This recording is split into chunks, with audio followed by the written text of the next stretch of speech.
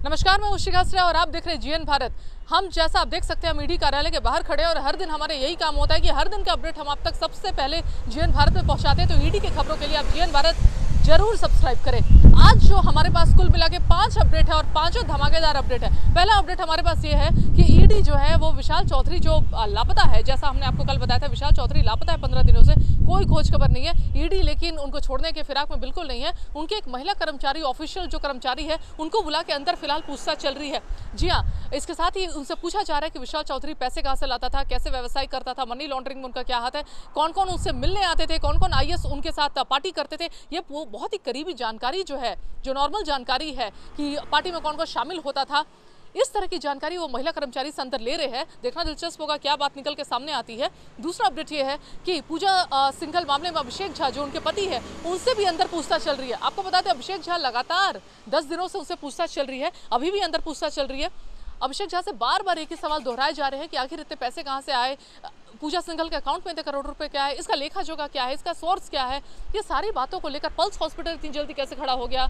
ये सारे अ, सवाल जो एक तरह से बोम्बार्ड किए जा रहे हैं। अभिषेक झा पे जिससे वो थोड़ा सा घबराए हुए नज़र आते हैं या फिर कई सारे सवाल का जवाब जो है मैं वो चुप्पी साथ ले रहे हैं। लेकिन ये चुप्पी जो है वो ईडी वालों को रास नहीं आ रही है और वो हर दिन एक ही सवाल पूछने के लिए अभिषेक झा को बुला रहे हैं। अभिषेक झा की तरफ़ से ये सूत्रों के हवाले से खबर है कि वो आज सारे डॉक्यूमेंट्स लेकर आए हैं कि कहाँ कहाँ से क्या पैसा आता था सारे सोर्स ऑथेंटिक सोर्स जो है आज जो सब सुनील मारे ईडी को आज सारा हिसाब वो देने वाले हैं। देखना दिलचस्प होगा क्या हिसाब मिलता है। और अब जो अ, सबसे अंतिम अपडेट है और बहुत ही इंपॉर्टेंट अपडेट है जैसा हमने आपको कल बताया था ये भी कि ऋषिकेश पांडे नए उप निदेशक होंगे ईडी के। लेकिन ऋषिकेश पांडे के आने से सुबोध कुमार इससे पहले जो थे वो वो हटाए गए उनका तबादला हुआ है। तो सवाल खड़ा इससे सरयू राय जो है विधायक उन्होंने भी सवाल खड़ा किया है कि आखिर सुबोध कुमार को क्यों हटाया गया? आपको बता दें सुबोध कुमार बहुत ही तेज तर्रार ऑफिसर थे।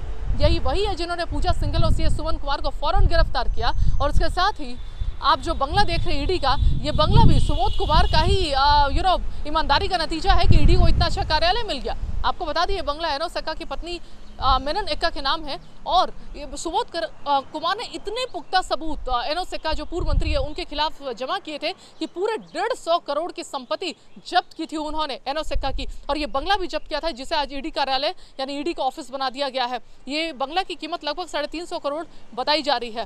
फ़िलहाल अपडेट और इसके साथ ही आ, एक और समन जा सकता है कोलकाता के बहुत बड़े बिज़नेस टाइकून है, जिनका नाम है श्यामलाल सरकार। वो कोलकाता के बिजनेसमैन है लॉजिस्टिक कंपनी है उनका। लॉजिस्टिक और ये जनरली कटिहार से और और साहिबगंज के बीच में जो गंगा नदी है, उनके बीच जो जहाज़ें चलती है, उनकी, उनका जो टेंडर है, वो श्यामलाल सरकार के पास है। तो होता है, खनन, जो अवैध खनन में भेजा जाता था। कहा जाता है कि इसी रूट में गंगा नदी जो है, इसके थ्रू भेजा जाता जहाज़ में, इलीगल की तरफ़ से। तो इसमें पूछताछ के लिए बहुत जल्द श्यामलाल सरकार के पास भी नोटिस जा सकता है, वो भी रांची आना पड़ सकता है। देखना दिलचस्प होगा, कहीं ये भी ना भागे, क्योंकि ईडी के डर से मानो सब कोई दुम दबा के भाग रहे हैं और कोई फ़ोन अपना ऑफ़ कर रहा है तो कोई रिश्तेदार घर में छुप रहे लेकिन ईडी भी अपने पूरे फॉर्म में है, किसी को छोड़ने का मन बिल्कुल नहीं बना रही है। हर दिन तमाम अपडेट हम ईडी में आपके आपके लिए हर दिन लेते आ रहे हैं। बने रहे जीएन भारत के साथ। धन्यवाद। अपने राज्य से जुड़ी हर ताज़ा खबरों के लिए आप हमें सब्सक्राइब करें, साथ ही बेल आइकन बटन दबाना ना भूलें।